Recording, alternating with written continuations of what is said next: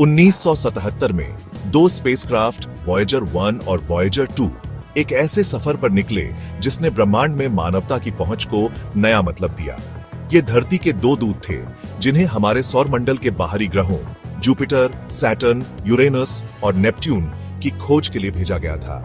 हमें क्या पता था कि इनका सफ़र हमारे कॉस्मिक नेबरहुड से भी बहुत आगे तक जाएगा? वॉयजर मिशंस इंसानी दिमाग की ताकत और नॉलेज के लिए हमारी प्यास का सबूत थे साइंटिस्ट्स और इंजीनियर्स ने इन रोबोटिक एक्सप्लोरर्स को बनाने में अपना सब कुछ झोंक दिया उन्होंने इनमें कटिंग एज इंस्ट्रूमेंट्स लगाए जो स्टनिंग इमेजेस कैप्चर करेंगे और इनवैल्यूबल डेटा इकट्ठा करेंगे दुनिया ने ब्रेथ होल्ड करके देखा जब वॉयजर्स अनजाने में उड़ान भरी उनके सफ़र ने स्पेस एक्सप्लोरेशन में एक नए युग की शुरुआत की जिस युग में ह्यूमन अंडरस्टैंडिंग की सीमाओं को आगे बढ़ाने का वादा था। एक्साइटमेंट साफ़ दिख रहा था एंटिसिपेशन और वंडर का मिश्रण कि ये इंट्रेपिड एक्सप्लोरर्स क्या नया ढूंढेंगे। बाहरी सौर मंडल से वॉयजर्स का सफ़र स्पेक्टेक्युलर से कम नहीं था।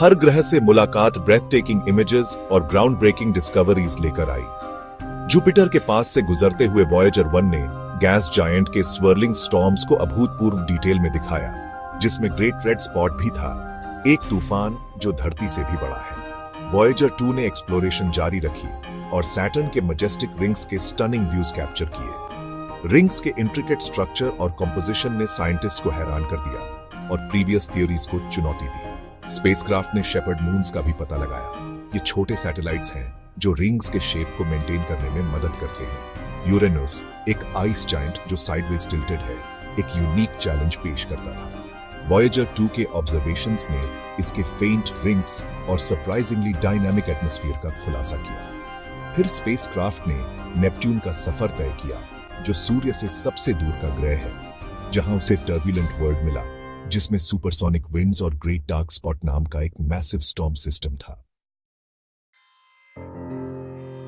जैसे जैसे वॉयजर्स धरती से दूर जाते गए, वे अपने साथ एक यूनिक मैसेज लेकर गए, एक गोल्डन रिकॉर्ड जिसमें हमारे ग्रह के साउंड्स और इमेजेस थे।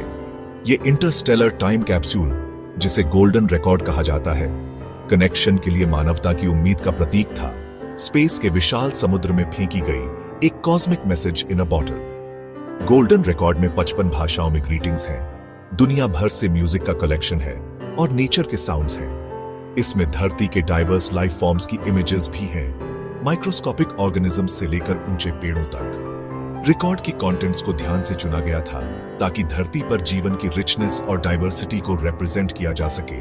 हमारे ग्रह के हिस्ट्री और कल्चर का एक स्नैपशॉट ये होप और पीस का मैसेज है। हमारी शेयर्ड ह्यूमैनिटी का सबूत है और स्टार्स के बीच मौजूद अदर इंटेलिजेंट बीइंग्स से कनेक्ट करने की लॉन्गिंग है। सेक्शन फोर झांच से परे।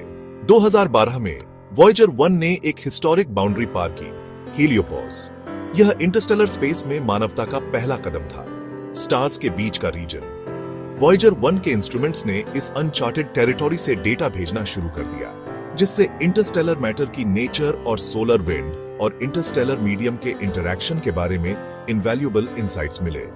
हीलियोपोज को पार करना वॉयजर मिशन की लॉन्जेविटी और इसे डिज़ाइन करने वाले इंजीनियर्स की इंजीन्यूटी का सबूत था। स्पेसक्राफ्ट अपने इनिशियल डिज़ाइन लाइफ स्पैन से कहीं आगे ऑपरेट कर रहा है। ड्विंडलिंग पावर रिजर्व्स और इंजीनियस वर्कअराउंड्स पर निर्भर रहकर अपने इंस्ट्रूमेंट्स को फंक्शनिंग रखता है। इंटरस्टेलर स्पेस में वॉयजर वन का सफ़र एक्सप्लोरेशन के बाउंडलेस स्पिरिट का सबूत है। इसका भेजा हर डेटा यूनिवर्स के बारे में हमारी समझ को बढ़ाता है और फ्यूचर जेनरेशंस को स्टार्स तक पहुँचने के लिए इंस्पायर करता है।